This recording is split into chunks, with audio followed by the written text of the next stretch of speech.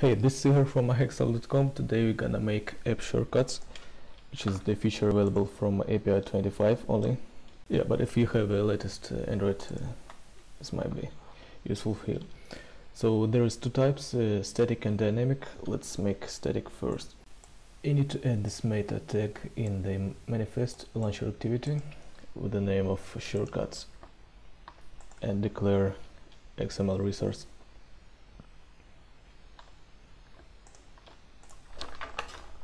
Here you declare all the static shortcuts you want. I have three. And it has an icon and that uh, label. And you can provide uh,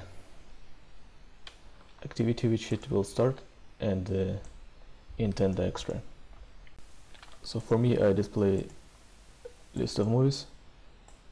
And I have uh, three different shortcuts for different sort types and uh, those shortcuts start the same activity but uh, with a different uh, intent extra bundle. Different sort type here. Just by checking the intent extra in the activity you can know if uh, activity was started from shortcut or not.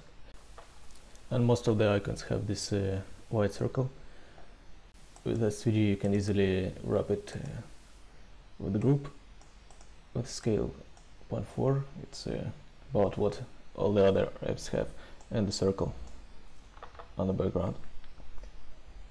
And here goes your icon. that's what the, it would look like without. So you can uh, copy this code from the repo and uh, put in the onto your icons. So if static shortcut is being added during build uh, dynamic can be added uh, by user or programmatically like what they do in the Google Maps.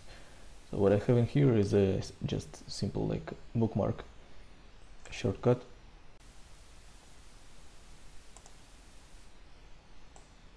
And now I will have this movie as a shortcut here. And it uh, keeps only one movie for a shortcut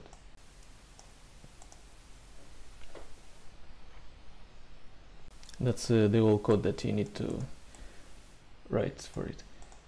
This is in Kotlin but it's very similar to Java. You get shortcut manager service create an intent with the bundle just like you created in here.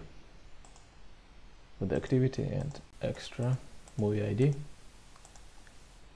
create a shortcut with an icon and name. Yeah and that's it. Maybe they will make it compatible later or not yeah, you can check out the GitHub repository for sample code and uh, if you just want to look at uh, some Kotlin code. Most of the stuff is here in Kotlin. Yeah, that's it for now. Thanks for watching.